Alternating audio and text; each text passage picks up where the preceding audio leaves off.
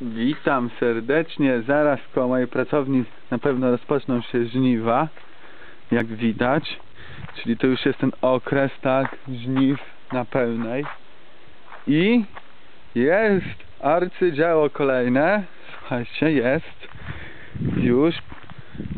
Jeszcze tylko zostaje mi te druty, tak? Te druty, żeby ustabilizować ładnie ściany.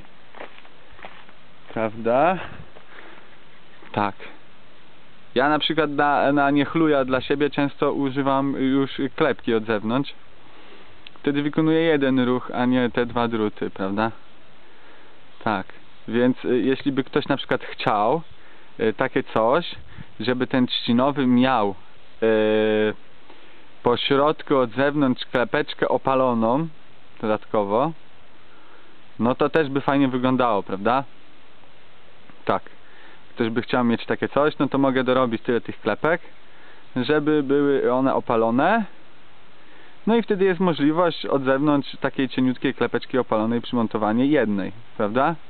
Zamiast dwóch drucików. No to też jest taka możliwość. I jak ktoś będzie mnie tam oglądał, no to jak na, trafi na ten filmik, to będzie wiedział, że może takie coś i też być wykonane, prawda?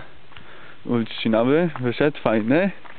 Dennica oczywiście, oczywiście trzcinowa, tak, opalana. Drewno opalone.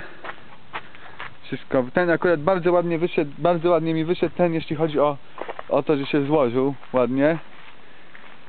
Tak, wszystko wyszło bardzo, bardzo w nim równiutko. Dosyć, jeśli chodzi o jego płaszczyznę i tak dalej. Nie zawsze ul wyjdzie tak ładnie.